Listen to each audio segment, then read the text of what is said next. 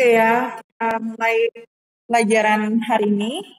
Jadi itu kemarin pas yang hari Senin, itu kami ngomongnya dilatasi, dilatasi itu ya. Padahal yang Miss terangnya itu translasi. Ini sudah tulis di apa namanya di Google, di WhatsApp ya, di WhatsApp grup. Jadi yang pas kemarin kalau kalian dengerin videonya Miss ngomong dilatasi, itu kalian eh, apa namanya ganti aja gitu ya. Maksud Miss itu Miss ngomongnya translasi gitu ya. Jadi ketuker dengan dilatasi yang Miss mau terangin hari ini gitu ya. Jadi pokoknya yang kemarin yang pas hari Senin itu yang pergeseran eh, apa namanya titik itu ya dalam transformasi itu bukan dilatasi tapi adalah translasi gitu ya. Jadi yang kemarin itu eh, rumus yang tinggal ditambah ditambah itu itu adalah translasi. Jadi yang dilatasi Miss baru eh, terangin hari ini gitu ya. Jadi ini bukan lanjutan yang kemarin tapi materi baru yaitu mengenai dilatasi. Oke. Jadi sebelum kita lihat rumus dari dilatasi ini ya, kita lihat dulu uh, apa yang dimaksud dengan dilatasi. Jadi kalau dilatasi itu perubahan ukuran. Kalau translasi kemarin itu kan perpindahan letaknya ya. Kalau dilatasi itu perubahan ukuran. Jadi perubahan ukuran dari suatu bangun di dalam dilatasi itu misalnya kan kalau di contoh gambar ini awalnya itu yang tengah ya jadi yang tengah itu adalah yang di sini segitiga ini gitu nah kalian lihat si segitiga yang di tengah segitiga ABC itu bisa diperkecil kalian bisa lihat ya bisa diperkecil itu jadi segitiga yang kuning di bawah juga dia selain dia bisa diperkecil, dia juga bisa diperbesar. Jadi perubahan ukurannya itu tidak selalu uh, nggak cuma diperbesar tapi bisa juga diperkecil gitu ya. Nah, dua-duanya itu baik yang dia diperbesar atau yang dia diperkecil ini adalah yang disebut sebagai dilatasi gitu ya. Nah, contoh yang di sini adalah dilatasi terhadap uh, titik 0,0. Kita lihat kayak gimana gitu ya, uh, apa namanya uh, cara mendilatasi, kita misalnya Amis ambil contoh titik C. C yang di hitam itu ya, yang di mis garis yang ini. Nah, C di sini titiknya berapa koma berapa tuh? Ada yang bisa lihat? Titiknya berapa koma berapa sih, C? 6, koma berapa? Iya, 6,3 si C. Terus kita lihat pas dia diperbesar, pas diperbesar berarti yang ke sini, yang C3 ya, dia dia diperbesar. Itu titiknya berapa koma berapa? 12 koma berapa? Ini kan 12, Y-nya berapa? 6, betul. 12 6. Nah, kalau kalian lihat ya dari 6 ke 12 dari 6 kan kita lihat berubah ke 12. Dari 3 berubah ke 6. Ya, berarti itu dikali berapa tuh? 6 supaya jadi 12. 3 dikali 6. Eh, 3 menjadi 6. Ini itu supaya dia berubah ke sini, dia itu dikali dengan dua masing-masing, baik yang di X-nya maupun di Y-nya. Gitu. Nah, sekarang kita lihat kalau yang kecil. Misalnya yang C2 nih, yang kecil itu ya, yang kuning di bawah. C2 itu titiknya berapa koma berapa tuh? 2 koma berapa?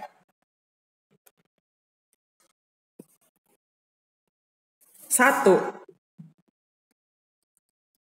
Nah, berarti perubahannya dari 6 ke 2 ya terus tiga ke satu itu kan artinya enam supaya kedua itu dibagi tiga kan sama halnya dengan tiga ke satu. Berarti dia itu kalau kita sebut karena dilatasi itu semuanya dilambangkannya dengan perkalian nggak ada dalam bagian. Jadi enam ke dua tiga ke satu itu artinya dia dikali dengan satu per tiga gitu ya. Jadi yang dari kalau misalnya dari yang uh, da, diperkecil itu berarti perkaliannya pasti bentuknya per, sedangkan kalau diperbesar pasti bentuknya nggak per, tapi angka berapa gitu.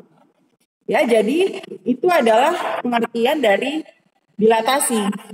Kalau diperbesar dikali dengan angka yang lebih dari satu, ya, sedangkan kalau diperkecil berarti dia dikali dengan angka yang kurang dari satu, alias pecahan satu per berapa, satu per berapa, gitu ya. Oke, sampai di sini di uh, jadi nanti kalau misalnya disuruh menggambar sih, berarti kamu tinggal kita lihat uh, pakai cara bisa kalian kali dulu, misalnya awalnya berapa ya titik-titiknya, terus habis itu kalau udah dikali baru kalian bikin kalau A dikali biasanya A nih. Kita coba ya. Berarti A itu kan titiknya adalah uh, 3 ini kan 3,9 nah ini 3,9 pasti uh, terus habis itu tiba tiba-tiba si A-nya itu berubah jadi 6,18 yang lebih gede ya. Berarti sama itu juga A-nya itu juga pasti semuanya dikali dua. Gitu. Jadi kalau A, B, C itu semua pasti faktor skalanya sama dikalinya. Nah, sebelumnya uh, ngasih rumusnya, ada yang mau ditanya nggak tentang penggambaran dari dilatasi? Apa? Oh, nggak ada. Ada ada yang lain mau nanya? Kalau nggak ada, berarti Miss lanjut ya ke rumusnya.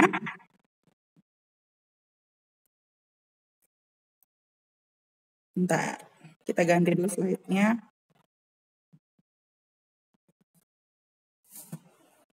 Nah, ini ya bisa dicek di sini. Ini rumusnya. Jadi kalau cuma eh, nggak uh, ada gambar, berarti kan kalian harus pakai rumus. Jadi kalau dilatasi ada dua macam. Pertama yang ada cuma ada skala K-nya. Jadi kalau ada cuma ada skala K-nya berarti asumsinya dari titik pusat O alias titik pusat di 0,0 ya. 0,0 itu bisa juga disebut sebagai titik pusat O besar gitu. Nah ini tinggal kalau dia pertanyaannya tinggal jadi rumusnya tinggal awalnya misalnya titik s, x, y saat dia dikalikan dengan faktor skala berapa ya jika berarti tinggal masing-masing itu dikali aja dengan si um, skalanya tersebut. Jadi kalau misalnya ini soalnya seperti ini, awalnya kan dia 3,2. Terus dia bilang didilatasi dengan faktor skala 3. Berarti caranya gimana? Tinggal yang yang depan kan angkanya X-nya pertama 3, kita kali dengan 3 juga, kita tulis 3 kali 3, di koma, sama yang satu lagi, 2 dikali dengan faktor skala 3, berarti tulis lagi 2 kali 3. 3 kali 3 berapa hasilnya? 9. Terus kalau 2,3 2 kali 3 6. Nah, berarti nanti bayangannya adalah ya diperbesar yaitu menjadi 9,6. Nah, sekarang kita lihat contoh soal titik kedua ya di titik min 4,2 dengan faktor skala setengah. Nggak apa-apa kalau faktor skala setengah kan tadi kita udah tahu kalau satu per itu artinya dia diperkecil uh, ukurannya ya. Berarti tinggal kita tulis saja yang pertama si x-nya kan min 4 tinggal dikali dengan setengah. Kita tulis min 4 kali setengah di koma satu lagi dua dikali setengah Berapa tuh min 4 kali setengah? Kan dicoret di iya min 2. Ya, berarti min 2 koma kalau 2 kali setengah berapa?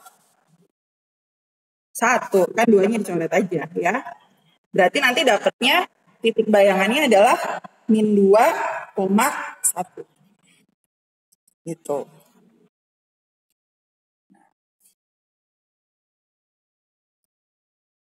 Oke, nah sekarang kita lanjut ke yang jenis soal yang ketiga ya. Nah, ini dibalik soalnya. Jadi suatu titik di, dilatasi dengan faktor skala K, berarti faktor skalanya kita nggak tahu. Titik awalnya dia bilang, titik awalnya itu adalah min 1,4. Terus nggak tahu berapa faktor skalanya berubah jadi min 2,8 gitu. Terus yang ditanya berapakah faktor skalanya alias berapakah k-nya. Ya, yang ditanya itu k-nya berapa. Ini caranya ngerjainnya tinggal gimana? Tinggal kita bikin bahwa si min 1,4 saat didilatasi terhadap faktor skala berarti kita tinggal nulis aja kan min 1 sama 4 dikali K, ini juga dikali K, hasilnya adalah min 2,8. Nah, kalian boleh milih salah satu. Boleh milih yang atas, boleh. Atau boleh milih yang bawah. Hasilnya pasti bakal sama ya kalau soalnya benar. Gitu. Jadi berarti kalau kita misalnya mis mau pilih yang bawah nih, cara ngerjainnya berarti tinggal gini aja. 4K sama dengan 8. Ya, berarti K-nya berapa?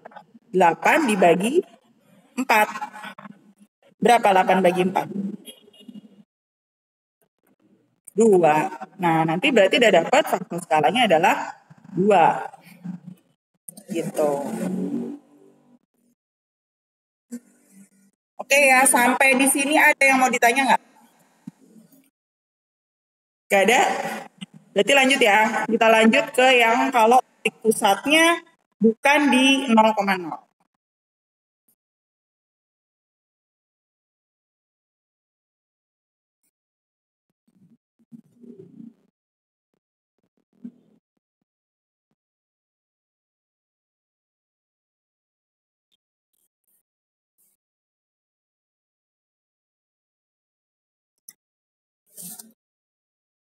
Oke, kita lihat di layar ya. Nah, soalnya bisa aja dia mintanya bukan di uh, titik pusatnya itu bukan di 0,0. Jadi ada angkanya.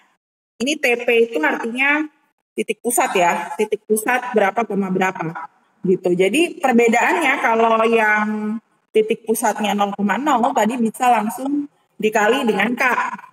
Kalau yang ini enggak, jadi rumusnya tinggal K-nya juga dikali, tapi dikalinya bu bukan dengan X langsung, tapi dikalinya dengan X min A. Gitu. Ya, jadi tinggal dikalinya seperti itu. Jadi saat yang B, yang si Y-nya juga, uh, ini salah nih ya, mis tulisnya nih. Bukan X min B, tapi Y min B. Nah, gitu ya. Jadi yang keduanya juga faktor dikali dengan Y min B. Gitu loh. Nah, sekarang kita lihat kita lihat cara ngerjainnya aja langsung di um, contoh soal ya. Misalnya ini ada titik 2, min 3 didilatasi dengan faktor skala 2 dengan titik pusatnya 1,1. Berarti 1,1 itu ini A, ini B-nya. Ya, berarti awalnya ini X. Terus yang min 3 itu adalah si Y. Berarti tinggal kita kerjakan. Titiknya itu berarti yang pertama K-nya, K-nya itu yang ini. Si faktor skala ya, yaitu 2. Berarti 2 dikali X min A.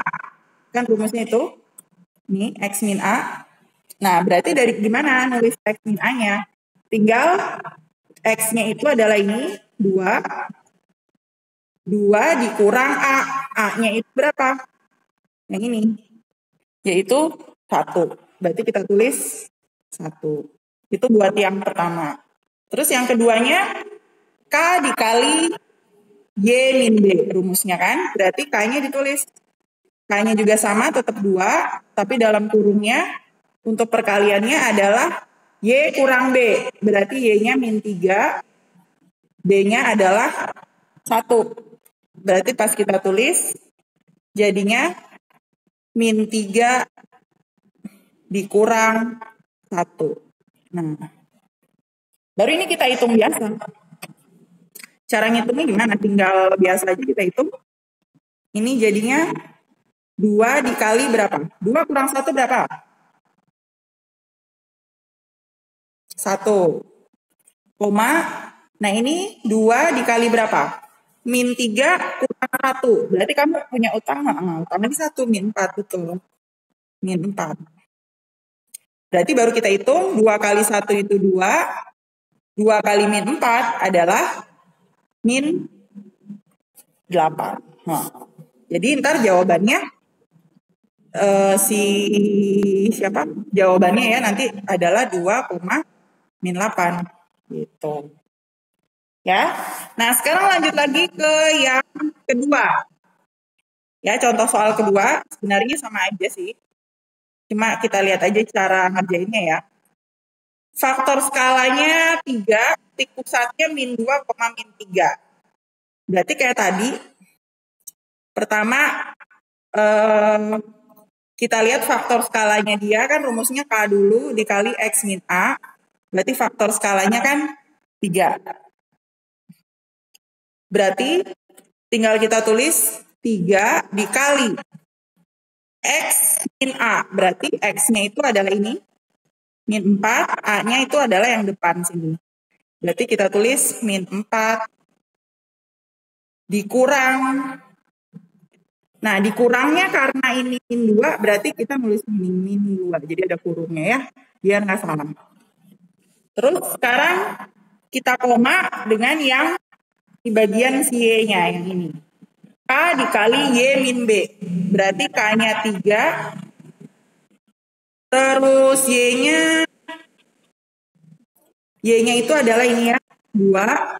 Terus B-nya itu yang ini. Jadi 2 dikurang min 3. Jadi nulisnya jangan lupa minnya ya, 2 dikurang min 3. Nah,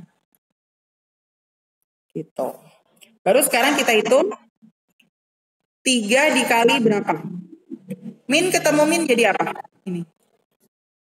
Kalau min ketemu min plus. Jadi itu sebenarnya ngitungnya adalah min 4 tambah 2. Berapa min 4 tambah 2? Kamu punya utang kamu punya utang 4, uh -uh. yang kamu bayar 2. Bukan dong. Kalau min 6 itu min 4 kurang 2. Iya, min 2. Jadi 3 kali min 2. Nah, yang sebelah sini, ya, yang sebelah sini, berarti 2 ini sama kan min ketemu min lagi nih. Berarti jadi apa 2 min ketemu min lagi? Jadinya plus kan? Jadi sebenarnya dia hitungannya adalah 2 ditambah 3 gitu. Jadi 3 dikali 2 tambah 3. Berapa 2 tambah 3? 5. Nah, berarti uh, hasilnya nanti bayangannya adalah min 6, 3 kali 5 adalah 15. Jadi jawabannya min 6, 15. Gitu. Ya, jadi ini uh, apa namanya uh, dilatasi ya. Nah nanti seperti biasa ada tugasnya ya sama ntar juga Miss share videonya. Oke sampai sa sebelum akhiri ada yang mau tanya nggak mengenai dilatasi? Direkam ya. Ada ya. Oke. Ada lagi yang mau nanya? Nggak ada? Oke, berarti Miss akhiri ya. Semuanya selamat yang... Yo.